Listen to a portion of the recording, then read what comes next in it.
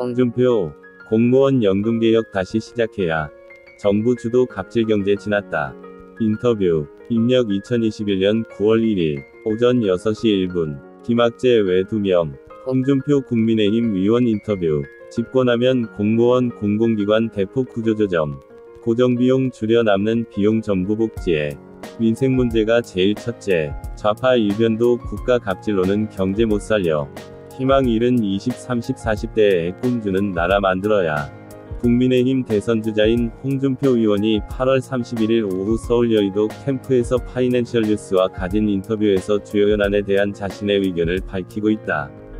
사진 김범석 기자 파이낸셜 뉴스 국민의힘 대선주자인 홍준표 의원이 연금개혁도 지금 다시 시작을 해야 한다. 며 공무원 연금개혁 카드를 꺼냈다.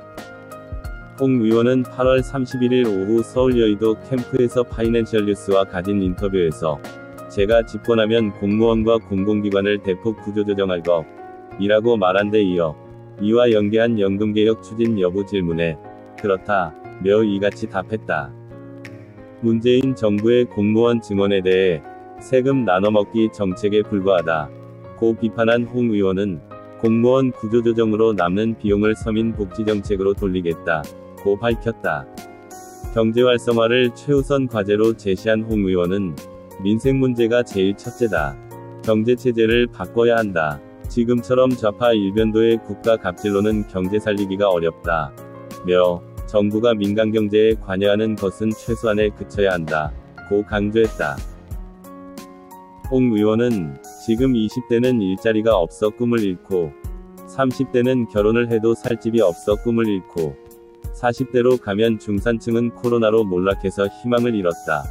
며 제일 중요한 게 20, 30, 40대가 다시 꿈과 희망을 가질 수 있는 나라를 만들어줘야 한다. 고 말했다. 홍 의원은 여당이 강행 처리했던 임대차 3법과 관련 그것은 다시 검토해서 환원하는 게 맞다. 며 자유시장 경쟁에 근본적으로 반하는 조항이 많아 제가 대통령이 되면 원래대로 환원하는 게 맞지 않나 라고 답했다. 다음은 홍 의원과 일문일답. 국민의힘 대선주자인 홍준표 의원이 8월 31일 오후 서울 여의도 캠프에서 파이낸셜 뉴스와 가진 인터뷰에서 주요 현안에 대한 자신의 의견을 밝히고 있다. 사진 김범석 기자 대담 정인홍 정치부장 문재인 정부 들어 공무원 증원이 많이 이뤄졌다. 5년 전 대선 때 내가 그렇게 하면 그리스로 간다. 고 그때부터 수없이 지적을 했다. 공무원 일자리 늘리려고 세금을 그렇게 쓰는 거 아니다. 국민들이 세금을 내는 것은 국가 가치를 창출해 나라를 부강하게 이끌어달라는 것이다. 그런데 그걸 공무원 일자리 늘리는데 쓰는 것은 세금 나눠먹기 정책에 불과하다. 홍 의원에 대하는 제가 집권하면 공무원과 공공기관을 대폭 구조조정할 것이다.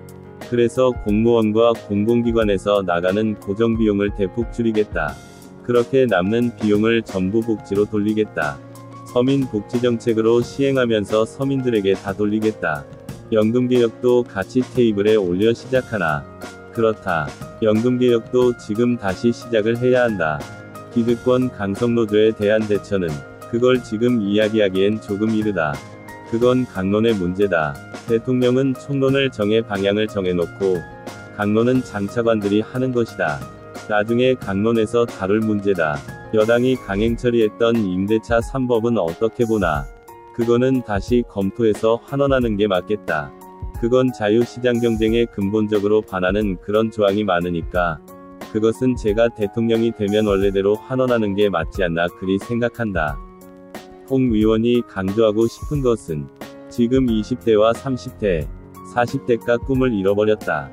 20대는 일자리가 없어 꿈을 잃고 30대는 결혼을 해도 살 집이 없어 꿈을 잃고 40대로 가면 중산층은 코로나로 몰락해서 희망을 잃었다. 제일 중요한 게 20, 30, 40대가 다시 꿈과 희망을 가질 수 있는 나라를 만들어줘야 한다. 그것을 위해 최우선 과제는 민생 문제가 제일 첫째다. 경제체제를 바꿔야 한다. 지금처럼 좌파 일변도의 국가 갑질로는 경제 살리기가 어렵다. 민간의 자유를 바탕으로 경제가 살아나야 한다.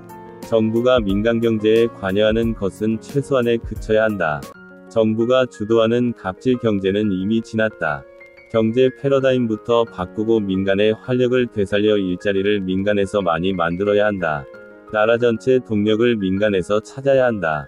국가가 마냥 퍼주기 하는 재정 확대 정책만으로는 경제 살리기에 이미 한계가 왔다. 그래서 제가 집권하면 제일 먼저 해야 할 게 경제 활성화다. 국민의힘 대선 주자인 홍준표 의원이 8월 31일 오후 서울 여의도 캠프에서 파이낸셜 뉴스와 가진 인터뷰에서 주요 현안에 대한 자신의 의견을 밝히고 있다. 사진 김범석 기자 김학재 hjkim01골뱅이 fnnews.com 심영준 crju 골뱅이 fnnews.com 전민경 ming 골뱅이 fnnews.com